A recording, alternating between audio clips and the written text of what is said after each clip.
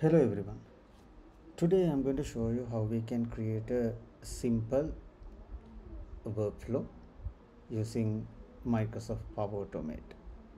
I'm not going to explain what Microsoft Power Automate is and what are the capabilities and what are the different kinds of uh, flows uh, uh, uh, do we have uh, when it comes to creating new uh, processes or we call flows uh, I'm going to show you how you can get started quickly. There are plenty of videos uh, talks about what Power Automate is and what are the different uh, flows available.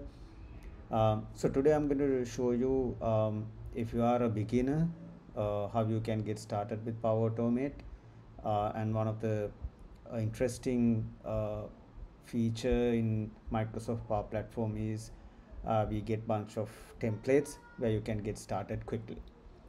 So let me first um, uh, set the stage, uh, explain the use case that I'm going to show you today.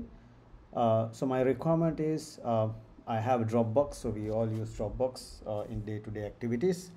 Um, so I do have a folder called Drops in my Dropbox um, account. Um, so time to time I would uh, upload files into this drop storage. Uh, so what I want to do is once I upload a file into this uh, Dropbox uh, account, I want to automatically copy that file into my uh, a SharePoint, uh, a library called Drops, um, uh, so that I can run some other processes on top of it. So I can run some approvals on top of it, and I can take it from there.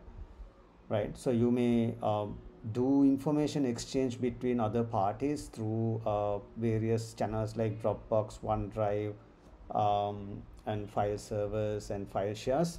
So I'm going to show you how you can uh, streamline, how we can automate uh, this information exchange process uh, using Power Automate. Um, so let me go to Power Automate and if you go to uh, My Flows, um, you will be able to see there are different kind of flows that you can create cloud flows desktop flows and then under solutions we have uh, uh, another uh, category as well.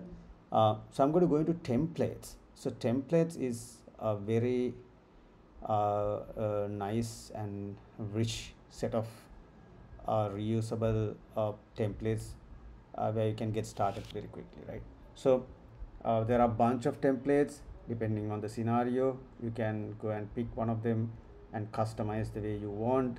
Uh, so I'm going to search um, Dropbox and SharePoint combination. Uh, so then I have a template called copy files between Dropbox and SharePoint. So let me take that. And then you will see uh, it basically a template which automates copying files between Dropbox and uh, SharePoint right so as the next step I need to configure the connection. So I have already connected my Dropbox account and the SharePoint account. So if not you will have option called sign in over here so that you can sign in and give uh, access to your account right? So let's say continue and then you will get the template. Uh, so now what you need to do is you need to basically uh, uh update this flow with your own parameters right? So when a file is created in Dropbox so in, in Dropbox in, in which uh, folder. So that's what you need to uh, provide here. Uh, so in the Dropbox account I have a drops folder. Uh, so when a file is created over here so you can also look at the interval settings. So you can configure the frequency how often you want to go and read this folder. Every every minute every hour. Uh, or you can set a particular uh, schedule as well and there are also a bunch of other settings that you can configure. Um, so once you do that uh, the next step is you need to configure where you want to put this file into in the SharePoint right? So I do have a, a, a website SharePoint site uh, under this URL and under that I have a bunch of uh, uh, libraries. So I have a library called drops. So I want to uh, put this file into this uh, location and it automatically takes a file name and file content as parameters. So in this case if you want to provide more parameters you can uh, you can uh, uh go and configure them uh, as well. And then there are a bunch of settings as well uh, where you can explore. So now my flow is ready. So what I can do is I can save the flow and um, uh, so the uh, it says copy files between Dropbox and SharePoint the the, the flow is uh, ready. So let me quickly go into this uh, uh, Dropbox uh, and let me try to upload a file from the computer. Let me take this um, let me take a smaller file rather. Um, yeah I'll copy this. Now it's uploading the document. So uh, what happens is as you already noticed uh, there is a particular interval. Uh, so in, in my case it's it's it's a minute.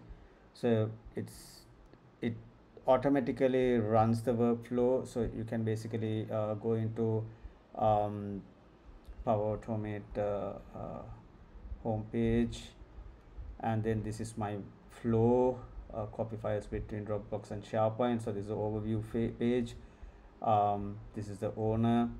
Status is on created on this particular date.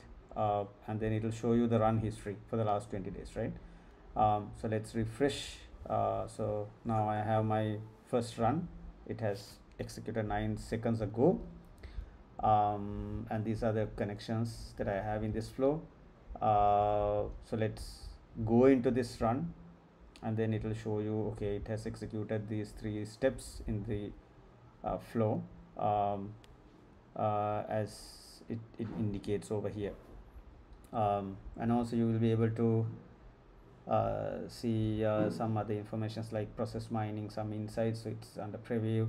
Um, and then you can actually go into the SharePoint and you will be able to refresh and see um, the file is already copied into my SharePoint library. Uh, so as you can see you can leverage uh, these templates that are there in the Power Automate uh, and you can uh, you can easily create a business process. You can easily create a workflow or rather flow uh, uh, with the help of these templates. So thank you very much and then we'll uh, uh, see again in in uh, in in a future video uh, chapter. Thanks